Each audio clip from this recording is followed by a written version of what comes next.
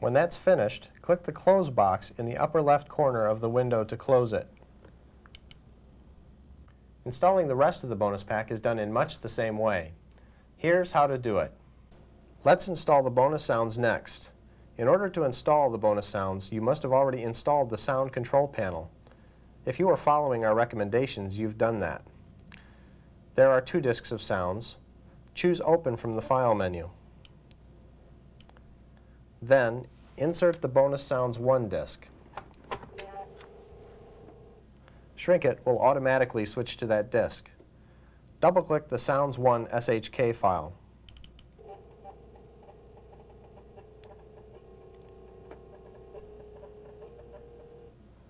Choose Select All from the Edit menu.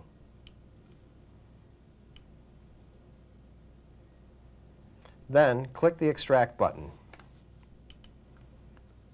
click the Volumes button, then double-click your hard drive startup partition. Ours is Q1. Then double-click the System folder,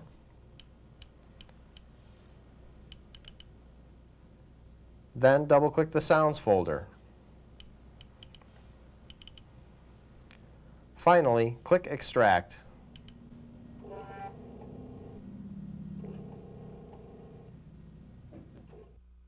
Follow the same procedures to install the second disk of sounds.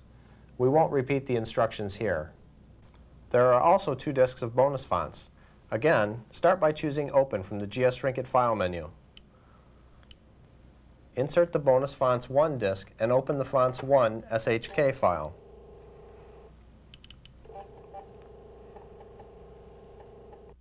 Choose Select All from the Edit menu, then click Extract click Volumes, then open your hard drive startup partition, Q1 in our case, and then open the System folder and the Fonts folder.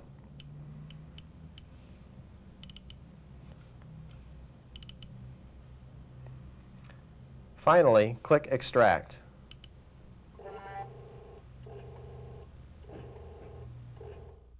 Again, follow the same procedure for the second disk of fonts. Let's install the Finder extensions next. This procedure should be starting to seem familiar. Choose Open again, then insert the bonus stuff disk.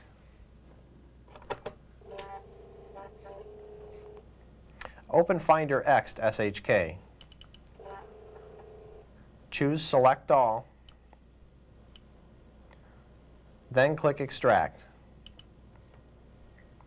Click Volumes, then double-click Q1 or your hard drive's name. Then double-click System. Then double-click System Setup. Finally, click Extract. The icons are also on the bonus stuff disk.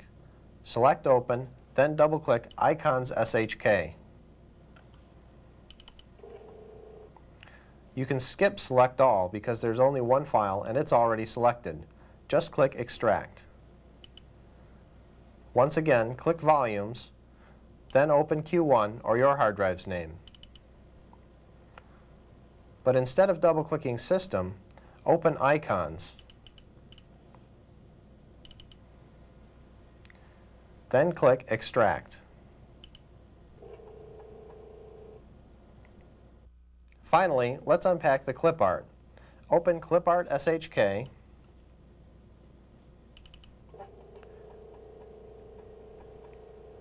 and choose Select All, then click Extract. Click Volumes, then double-click on your hard drive's name, Q1 on our system. Finally, click Extract. GS-Shrinkit is a very useful general-purpose utility program. You can use it to increase hard drive space by compressing files that you don't use very much. There's a detailed manual for Shrinkit on the bonus stuff disk.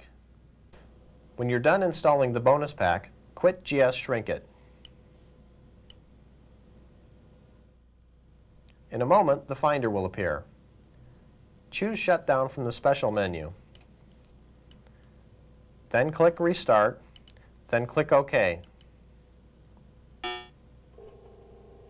When the Finder reappears, all of the bonus pack software will be available for you to use. In the next segment, we'll show you some basics of using the Apple 2GS desktop and Finder. Stay tuned.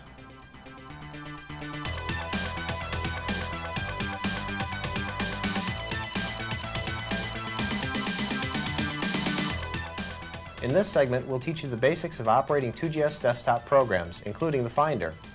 If you're already an experienced 2GS user, you can probably skip this segment. The Apple 2GS features what is called a graphical user interface. That sounds complicated and technical, but really it makes the computer much easier to use. From your point of view, it means that you can use the mouse to control programs. These programs communicate with you using pictures instead of text. The 2GS user interface is called the Apple Desktop. It's the same user interface made popular by the Macintosh, and it has several advantages. First, the Apple Desktop is intuitive. Many of the things you see on the screen behave just like their real-world equivalents. For example, you probably already know how to use a calculator in real life, which means you already know how to use the calculator desk accessory included with System 6. The Apple Desktop is also direct, you operate directly on objects on the screen by clicking them and dragging them around. Just like in real life, you first select the object you want to work with, then tell the computer what to do. Finally, the Apple Desktop is consistent. When you use an Apple Desktop program, you can safely assume certain things about the way the program operates, even if you've never used it before. As you can imagine, this makes learning to use new programs considerably simpler. The Apple IIgs can also run older 2E and 2C programs. The features of the desktop, however, are only accessible when you're running 2GS-specific applications. Let's look at a simple desktop program. This is the Finder. It's the first program you see when you start up System 6. You'll probably use it frequently, so it's a good place to start.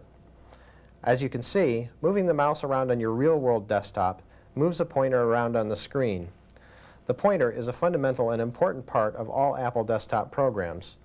You'll use it to point and select things, and the pointer itself will sometimes change appearance to give you visual feedback about what you're doing. These objects here on the right-hand side of the screen are icons. Icons are used to represent disks, programs, and documents. These represent our hard drive partitions. And this is a 3.5 inch disk. This is a window. In the Finder, windows are used to display the contents of disks and folders. In most other programs, windows display documents that you're working on.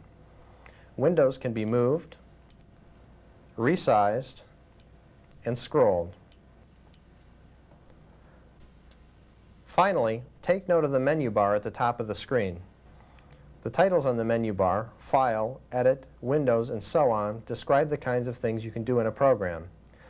You can pull down on the menus to select an option or just to browse through a program's features. Be sure to check out chapters 3 and 4 of the System 6 book for more on using the Apple desktop and the mouse.